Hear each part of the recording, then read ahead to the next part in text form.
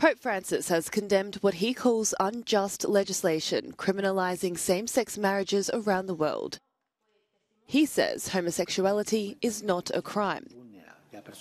In an interview with the Associated Press, the pontiff said he wanted the church to work on ending such laws. He referred to homosexuality instead as a sin. Francis acknowledged that Catholic bishops in some parts of the world would support laws that criminalise homosexuality, but he urged for tenderness instead.